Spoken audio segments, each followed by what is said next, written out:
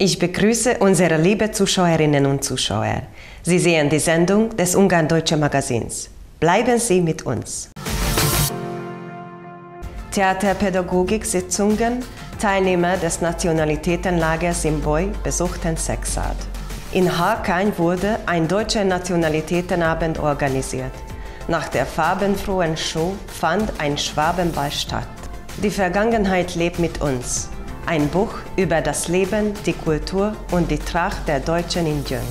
Deutschsprachige Messe in der Havihegyi Kirche.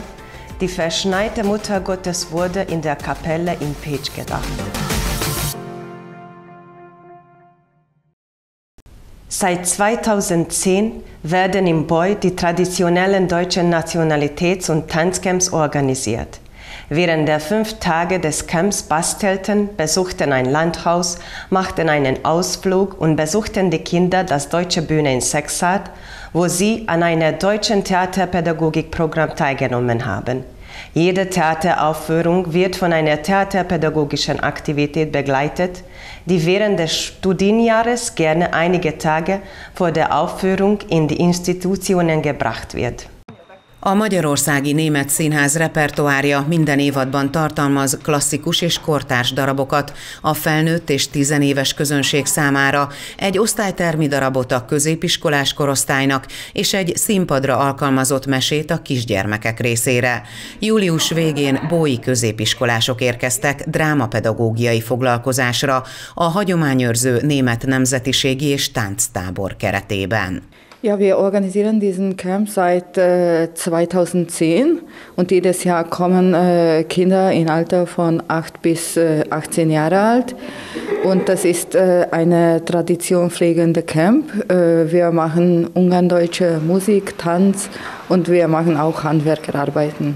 Ja, wir machen jedes Jahr einen Ausflug. Dieses Jahr haben wir äh, Sexart gewählt. Wir besuchen die deutsche Bühne und dann machen wir noch eine Tour in Bodripince. Und äh, gestern haben wir mit den Großmutter äh, Packagegipfel gemacht. Also wir äh, möchten, dass die Kinder auch äh, andere Tätigkeiten kennenlernen. Én mindig várom, minden iskolai év végén várom, hogy menjünk a táborba, ö, hiszen évközben ö, mi táncolunk, és ez egy ilyen záró program a tánc.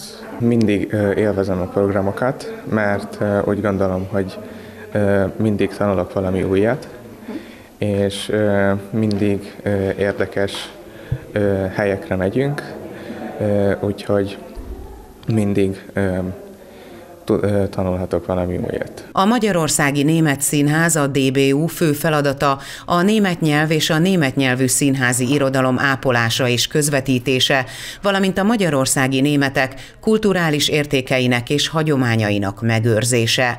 Színházpedagógiai programjaik során nagy hangsúlyt fektetnek a fiatalok színházi nevelésére, valamint törekednek az együttműködésre az oktatási intézményekkel. Das ist schon passiert öfters, also entweder dass äh, Gruppen zu uns kommen für einen Tag, für, eine, für ein paar Stunden, um das Theater anzuschauen oder für so, eine, äh, so einen Workshop.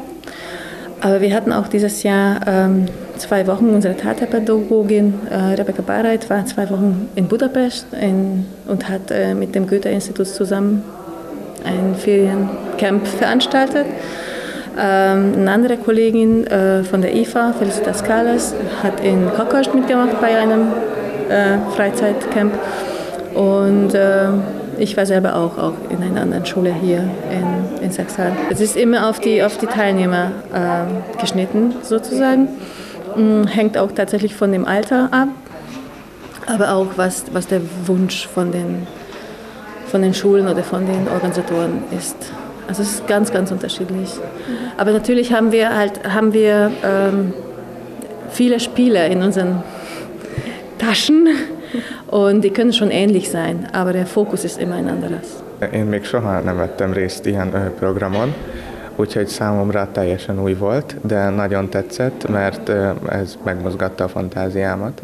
A Magyarországi Német Színház minden előadásához kapcsolódik színházpedagógiai kísérő tevékenység, amit a tanév során szívesen házhoz visznek az intézményekbe néhány nappal az előadás előtt.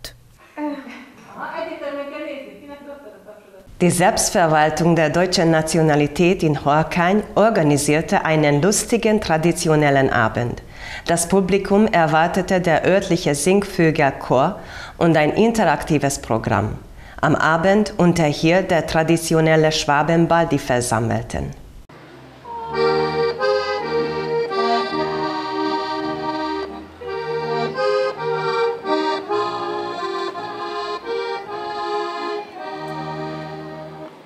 A Német Nemzetiségi Klubnak a tagjai is itt vannak. Ők szervezték az estet. Természetes számukra, hogy részt vegyenek a Nemzetiségi esten, hiszen maguk is német származásúak. Kedvelik a német zenét, és táncolni is szeretnek. Tartozunk a nemzetiséghez, és hát természetesen kíváncsiak vagyunk mi is arra, hogy milyen műsort produkál az énekkarunk, meg amúgy zene, társaság, van itt Harkánynak egy német nemzetiségi csoportja, és ott szoktunk összejönni, találkozni, estéket, találkozókat rendezni, és tartjuk a hagyományokat. Eleve német nemzetiségiek vagyunk, és a német nemzetiségi klubba tartozunk itt Harkányba.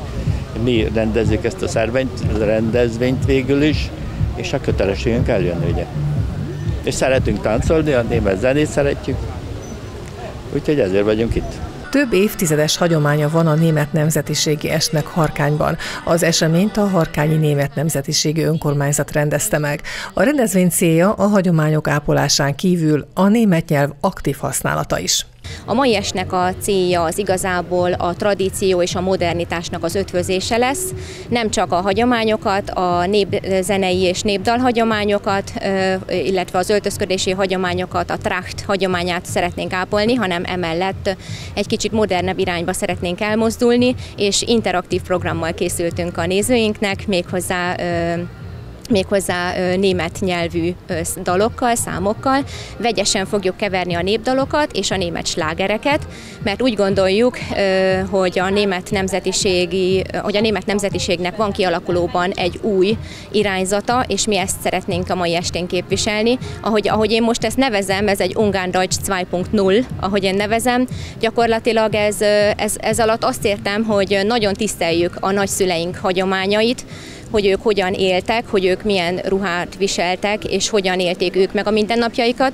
És emellett ugye a mi generációnk már egy másik generáció, és azt gondolom, hogy rendkívül fontos, hogy kitaláljunk egy aktív, a mindennapokban is élhető formáját az identitásunknak, és mivel az identitás legfőbb eleme a nyelv, ezért azt gondolom, hogy a német nyelv előtérbe helyezése a legfontosabb, hiszen német nyelvű országokból Baranyában nagyon sokan ide költöztek, német nyelvű országok alatt értem a Dach országokat, Németország, Ausztria és Svájc, Svájc, és igazából ezek az emberek itt élnek velünk a mindennapjainkban, ami nagyon jó lehetőséget ad arra, hogy a német nyelvünket mi magyarországi németek újra aktívan használhassuk.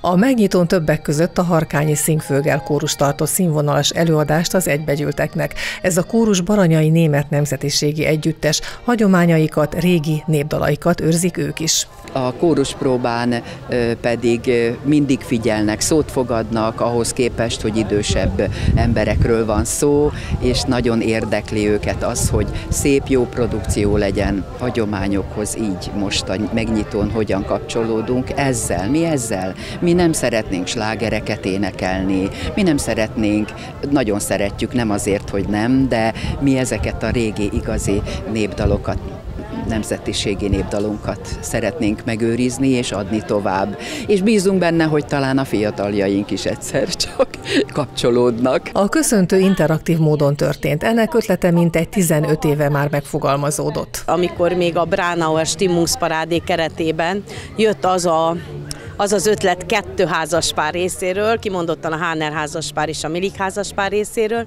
hogy a hagyományos népdalok mellett, illetve a néptáncok, a népi hagyományok ápolása mellett egy kicsit a közönséget igyekez, igyekszünk a szórakoztató zene fele is elvinni. Igazából előkészítjük a táncos esti mulatságot vidám slágerekkel, amelyeket osztrák és német oldalakról tanulunk be. Ebben mind szólisták, mind zenészek, mind pedig kórusok is részt vesznek. Kimondottan az én feladatom a Himesházi Zonnenblumen kórus nevében van, illetve szólista lányokkal, és ez a mai meghívás a Harkányi Német Önkormányzattal elmondhatom körülbelül egy jó másfél-kettő éve egész szoros kontaktus van, hiszen a műfázban is az őszi-téli rendezvényeken, illetve hát ugye tavasszal a templomi énekléssel együtt.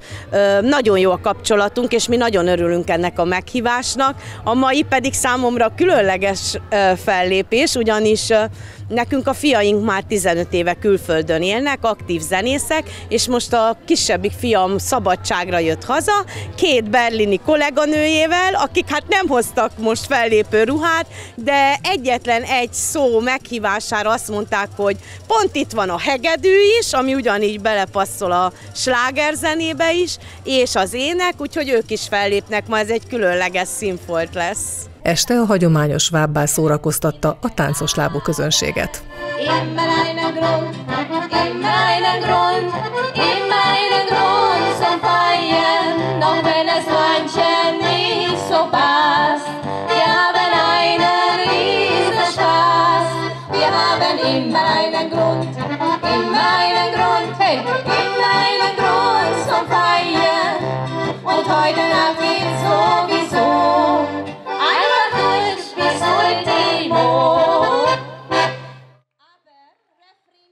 Vor sieben Jahren fand in Jüng eine Fotoausstellung mit dem Titel Die Vergangenheit lebt mit uns statt.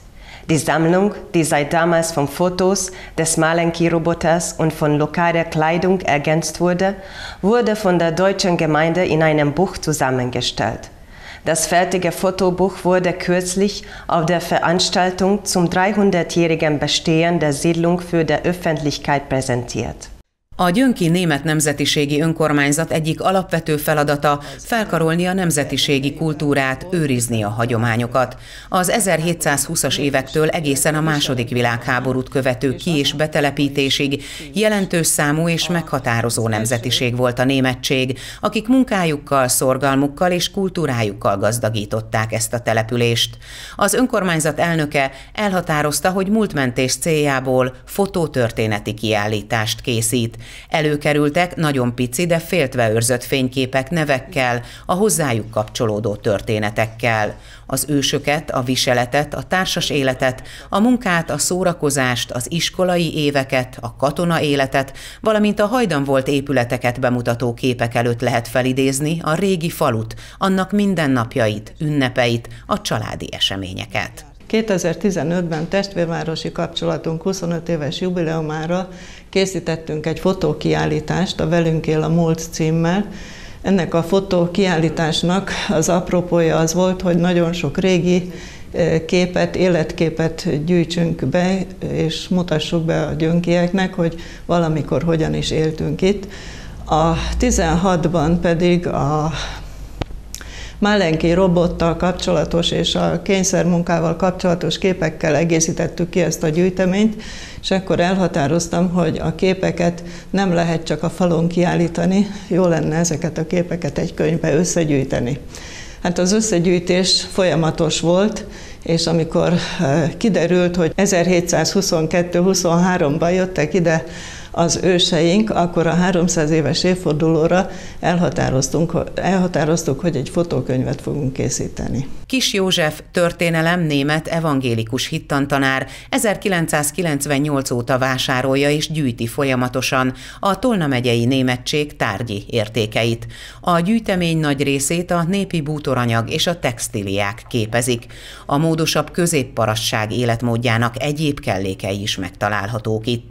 Gazdag fénykép képanyag, sorsleírások, falu történetek is a gyűjtemény részét képezik. 2021-ben teljesen elhatároztuk már a könyv elkészítését, de volt még egy feladatunk, illetve célunk, hogy egy gyönki, teljesen gyönki viseletbe öltöztessünk egy fiatal párt, és egy fotózkodó falat e, tudjunk elvinni a tájházhoz, illetve a különböző nemzetiségi rendezvényekre. Ehhez a fotó falhoz kértünk Kis Józsitól kimondottan gyönki viseletet, és két, egy táncos párt beöltöztettünk, Mivel Józsi ezt nagyon készségesen rendelkezésünkre bocsátotta, ezért ajándékul neki is készítettünk egy fotófalat, azon kívül, amikor a öltöztetés megtörtént, akkor láttam, hogy nagyon sok fotóalbuma van, amiben szintén régi képek vannak.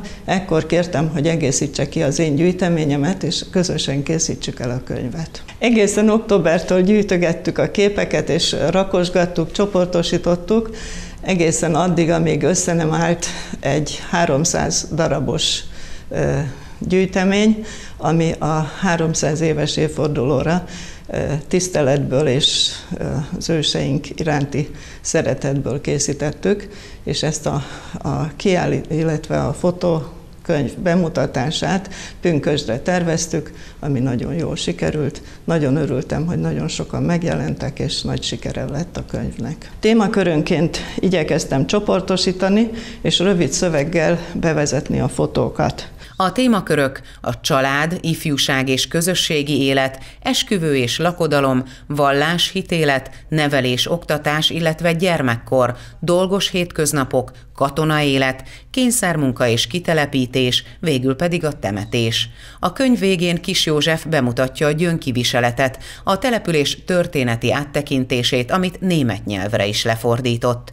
A kiállítással és a fotókönyvvel a német önkormányzat célja többek között az, hogy az oktatási intézmények népismereti órái még szemléletesebbé válhassanak. In der nach die verschneite Muttergottes benannten Kirche in Petsch fand eine feierliche Messe statt. Die auf Hovihead gebaute Kirche wird dieses Jahr 325 Jahre alt. Einst, nachdem die Pest vorbei war, bauten die Gläubigen es aus Dankbarkeit. Der Abschied von die verschneite Mutter Gottes mit einer Prozession von der Kirche Heiliger Augustus nach Hovihead findet normalerweise am 1. Augustwochenende statt. Am zweiten des mehrtätigen Feiertags wurde in der Kapelle die Messe auf Deutsch gelesen.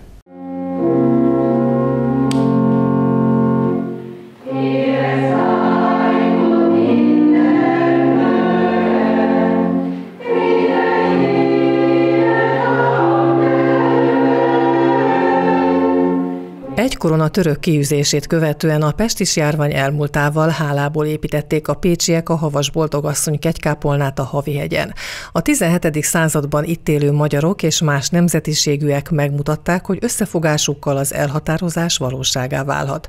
A Havihegyi kegykápolna azóta zarándok helyé vált, és évente búcsút rendeznek itt. A templom előtti kis utcában kegytárgyárusok árulják vallásos emléktárgyaikat. Ez az asszony például Szegedről érkezett. Nagyon nagyon hisznek benne, és biztosan, hogy óriási erőt ad, mert látom rajtuk, amikor megvásárolják, hogy ez nekik is erőt ad, és úgy gondolják, hogy akit ezzel megajándékoznak, annak is. Annak is erőt ad. Akár kicsi legyen, akár nagy.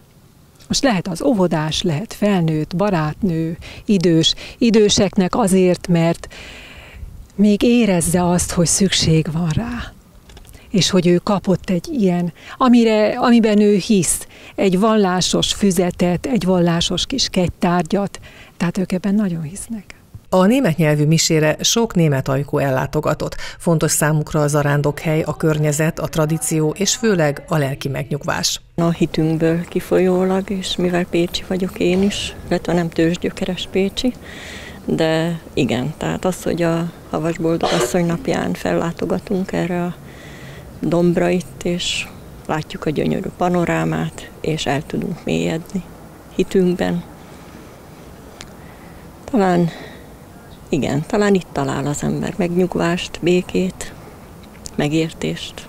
Tudunk imádkozni családainkért, családjunkért, szeretteinkért. Őseim svábok, én német palkonyai születésű vagyok, de igen, tökéletesen nem beszélem sem a svábot, sem a irodalmi németet, de de végül is mindent megértek, és ha visszamegyek a falumban, azért az én generációmmal azért ott, ha néha kis, kicsit nehézkesen is, de megértjük egymást.